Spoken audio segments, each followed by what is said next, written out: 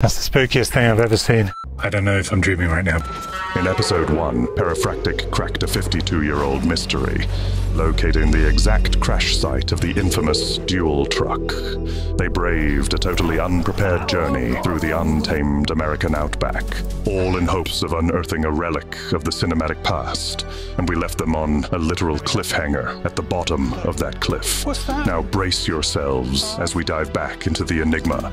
Is that the long lost Duel truck we've found?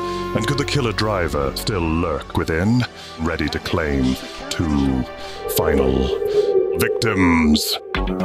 Retro Recipes, a pixelated flight into the nostalgic world of a man whose tech no longer exists. Perifractic, a grown up young loner on a crusade to champion the cause of innocent childhood nostalgia, the curious, the powerless, in a world of distracting peripherals that operate above old school law.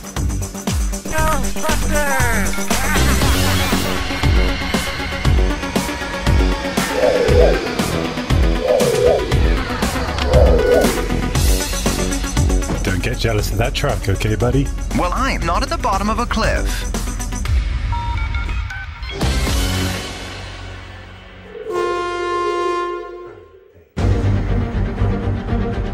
And from that studio back to the location for Universal Studios Duel.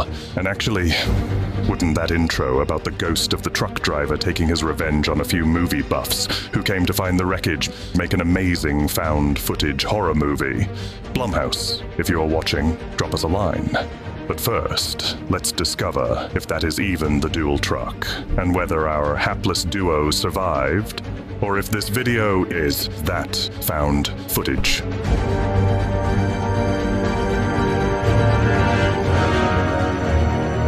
What is that down there then? Is that the hood? Let's go. I've got uh, the splinters and Yeah. I don't know what I'm doing anymore. Is that dangerous to get down there? Might be dangerous How do we get down back up? there. Let's We'd have back. to get back out that way if we can. Wait, wait, wait, wait. Just hold on. That's been there. How likely is it that was been there 50 years? Spielberg's first movie, and nobody's gone and retrieved it. And we're the first. I think we know why no one's gone and retrieved it. It's okay, we've got hours of daylight left and maybe what, 10, 15 minutes to get to there at the most? Maybe five. It's going to be a bit of a slide.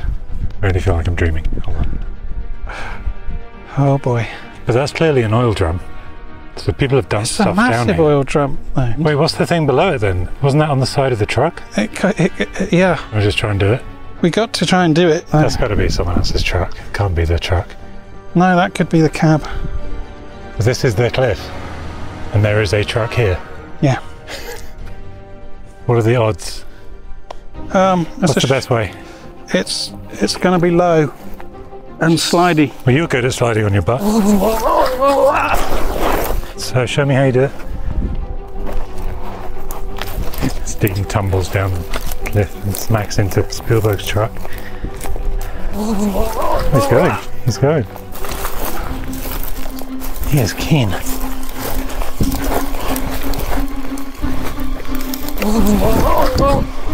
Dude, there's metal and a wheel. What? Metal and a wheel. I've touched it. I was the first to touch it. Finders This keepers. is ridiculous. This is a car wheel. Dean, we're never going to get back up here. We call you Dean Keen. We need to match this wheel Oh, sh. to Right. the Plymouth wheel. Plymouth Valiant wheel. This could be a Plymouth Plymouth Valiant, Valiant yeah. wheel.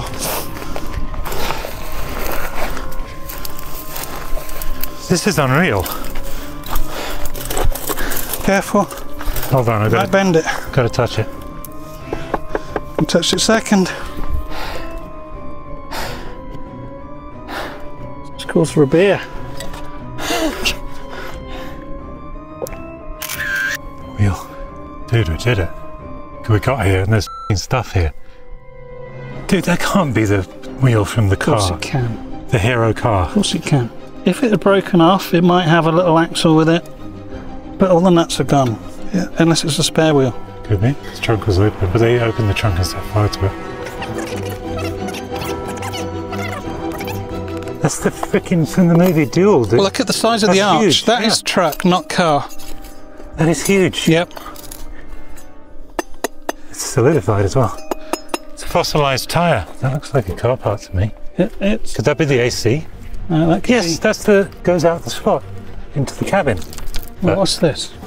That like a resistor? No, that's a power transformer. Battery terminal? All this talk of transformers makes one think of another type of truck.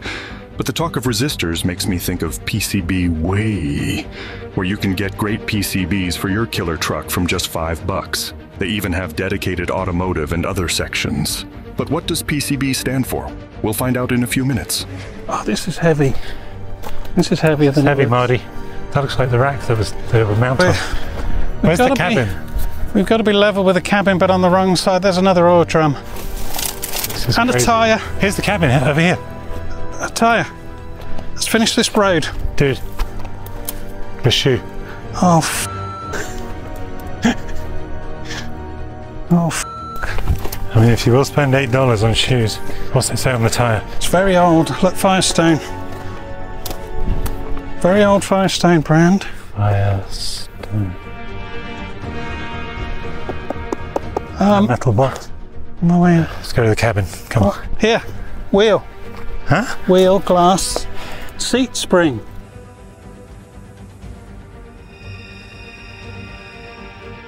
Spring. Look. It's all seat spring stuff. I'm going to the cabin. I'm going down here. The excitement is palpable. Ow! Okay. Oh, sh- that's really a cabin. So join us next month for episode three. When I'm just kidding. Just be careful, okay?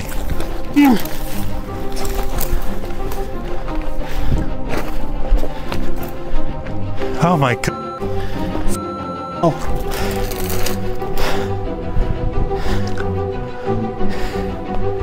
This is spooky. What if there's a driver in there?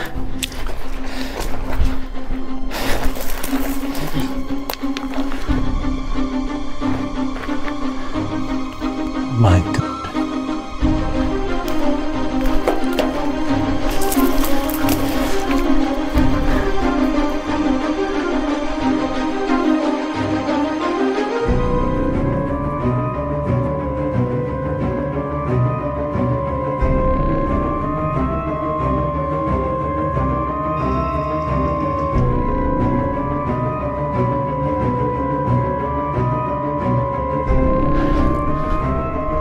spookiest thing I've ever seen. this is it. This is it. This is a split screen.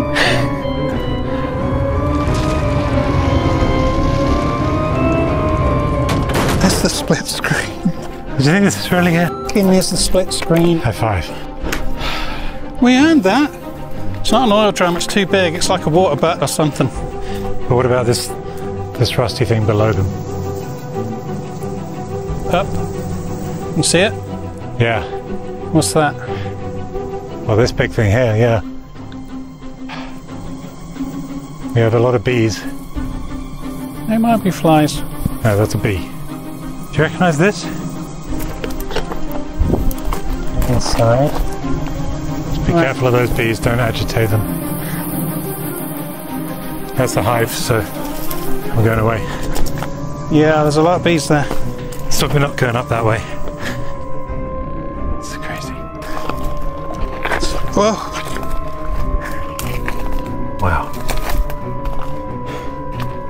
I had to take this video. Can I do your windscreen? Say hello, Dean. Hello, Dean. Idiot. Dude, you're sitting in the truck. But this may Ow. not be it. We don't know. Of course it is. And so, with optimism running high, and still a whole other cliff base that I wanted to search, but concerns growing about bees and snakes and losing the light, not to mention the skin, we decided not to venture any further.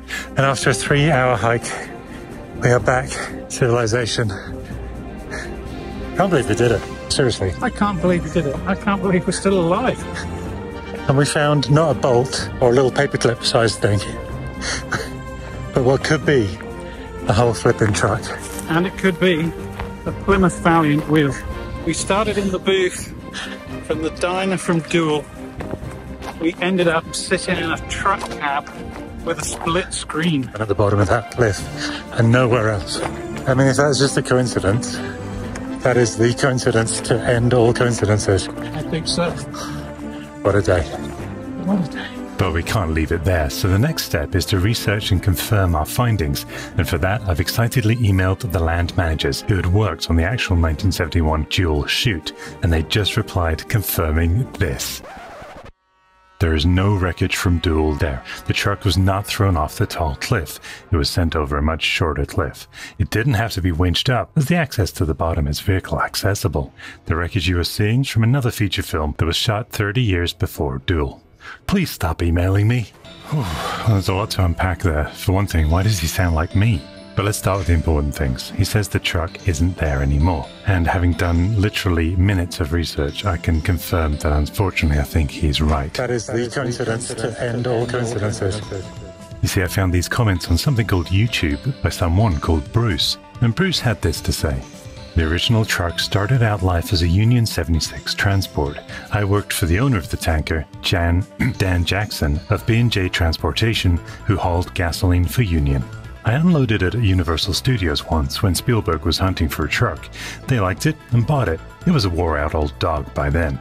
After the shoot, I saw its remains when the junk was hauled back to our yard in Carson, California. The motor was salvaged, transmission, the rest was sold for scrap iron. Nothing of value. Now, I beg to differ about the value, but he is entirely convincing and he gets into a lot of conversations with people there in the comments. But it does at least reveal that the motor lives on. Perhaps you're driving a truck with a replacement motor that is actually the one from Duel. Good luck to you. It's also possible that some of us have drunk soda or something out of a can made from the recycled iron, which means the Duel truck lives on in our souls, in, our, in the souls of us.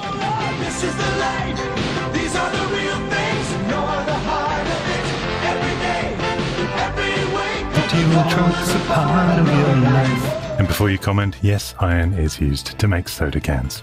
But let's forget all that and deal just with our footage. And as you can see, the top of the cab is quite rounded there, but having gone home and studied the footage, the actual Duel truck's top is not.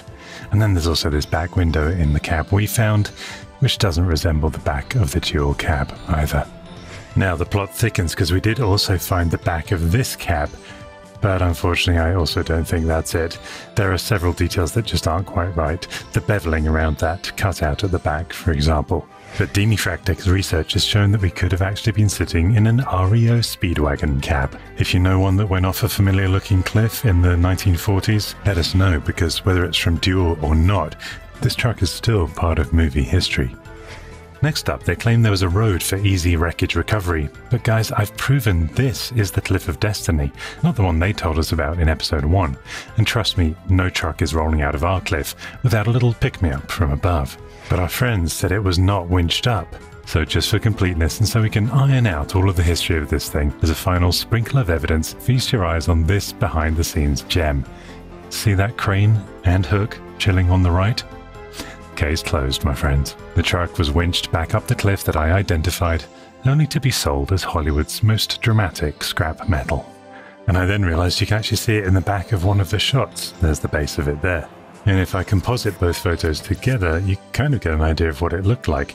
And my guess is that it was winched up by this 1971 P&H 430 ATC-8X4 crane truck.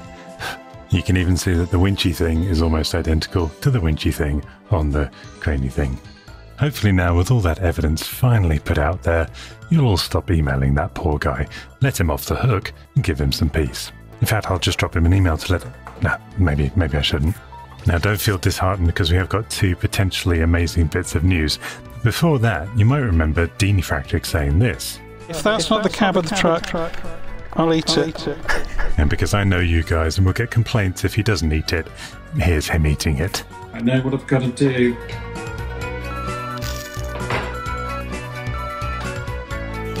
And as we all know, PCB stands for Pretty Crappy Breakfast. At least it's high in iron.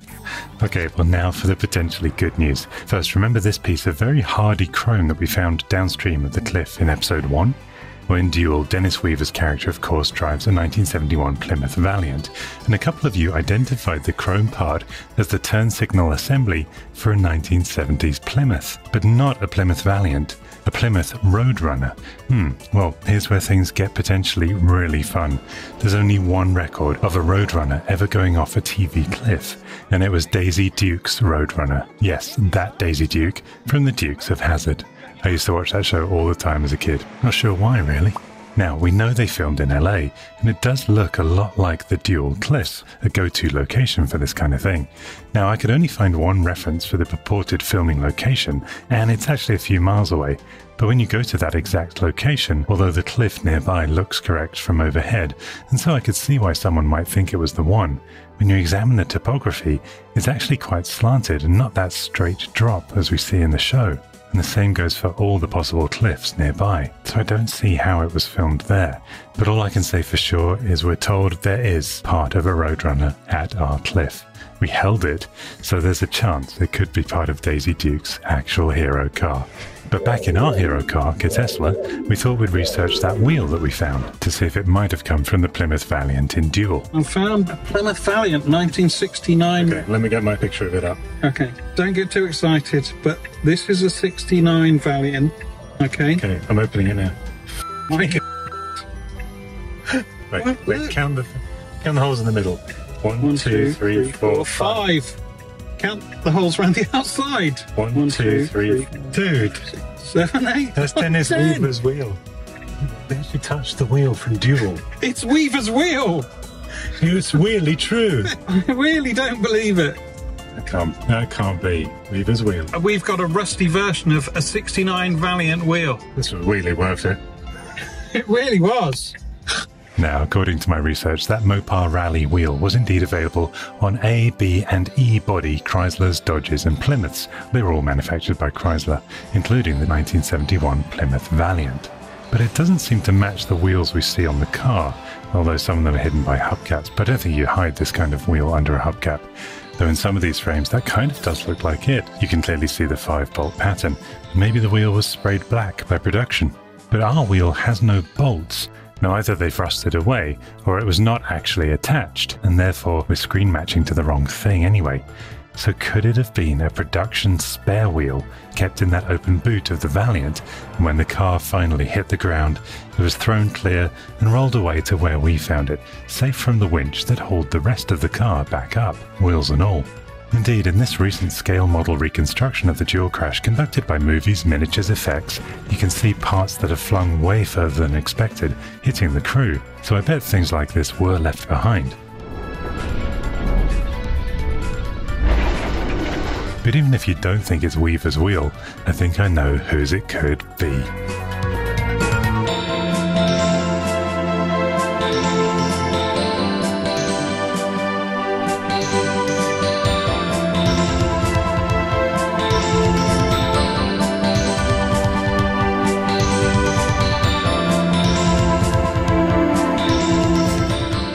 Daisy Duke's Roadrunner. It's a tantalizing thought, isn't it? So now we've come full circle, literally, as a wheel.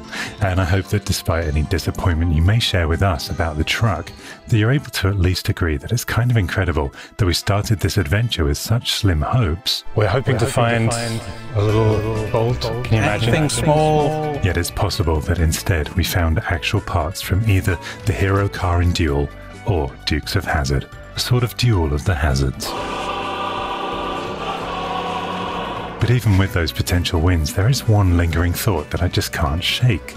I feel like up there, amongst the buzz of bees and the rattle of snakes, there's something still waiting to be discovered. These two pieces that go flying off to the side, for example. Are you really telling me that they went to the trouble of retrieving, then separately winching those back up so as to leave the land spotless, when all that other vehicle junk had been left there since the 1940s with no problem? Come on, I can guarantee there's still something from the Duel truck right there. But now, thanks to our imagery, we know where to look. I've even been able to screen match the location from multiple angles now to pinpoint exactly where the truck landed. However, in those final communications with the folks managing the land, they've pretty much said to me, please don't come back. I also sent a message to the actual cliff owners, Pardee Group, but so far just CB radio silence. So if you're watching this and you have the keys to the land, or you're an Indiana Jones of the archaeology world, ready to unearth some Duel history, or you're even Steven Spielberg, swing by perifractic.com slash duel. Reach out there and let's turn the final page on this cliffhanger for once and for all. But you know, even if we find nothing, it's important to remember that in life, it's always about the journey, not the destination. Well, unless you're the truck driver, then it was about the destination. And what a journey it was. Thank you so much for joining us on it. And as for a possible part three, subscribe and support below. You never know. And cheerio. Wonder what that'll do to the wax job. One man can make a difference, Perry. Or one woman. Or dog. The Fractics, lone curators in a vintage world. The world of retro recipes.